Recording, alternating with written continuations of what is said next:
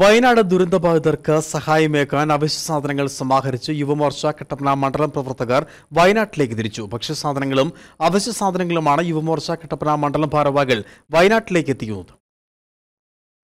ഉരുൾപൊട്ടലിൽ ഉറ്റവരും കിടപ്പാടവും ഉൾപ്പെടെ സർവതും നശിച്ച ദുരിതത്തിലായ ജനതയ്ക്ക് ആശ്വാസമേകുവാൻ തങ്ങളാൽ കഴിയുന്ന സഹായം വയനാട്ടിലേക്ക് എത്തിക്കുകയാണ് യുവമോർച്ച കട്ടപ്പന മണ്ഡലം കമ്മിറ്റി.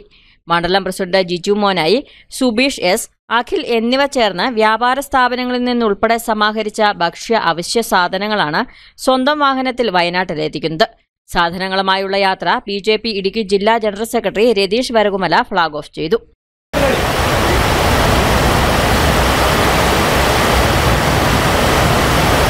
ശരിക്കും അവിടെ ഉണ്ടായ മനുഷ്യജീവനുകൾ എത്ര പൊലിഞ്ഞു എന്ന് തന്നെ നമുക്ക് അനുമാനിക്കാൻ സാധിക്കുന്നതിനപ്പുറത്തേക്കാണ്.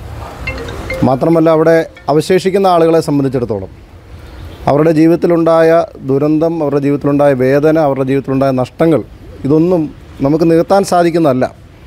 അത്തരമൊരു സാഹചര്യത്തിൽ അനുഭവിക്കുന്ന ജനതയ്ക്ക് കൈത്താങ്ങാകുക എന്നുള്ളത് മാ ഏറ്റവും വലിയ മാനുഷികമായ ഒരവസ്ഥയാണ്. അതിനു വേണ്ടിയിട്ട് തയ്യാറെടുത്തിട്ടുള്ള യുവമോർച്ച കട്ടപ്പന മണ്ഡലം കമ്മിറ്റിയെ തീർച്ചയായിട്ടും ഈ സമയത്ത് ഞാൻ അഭിനന്ദിക്കുകയാണ്.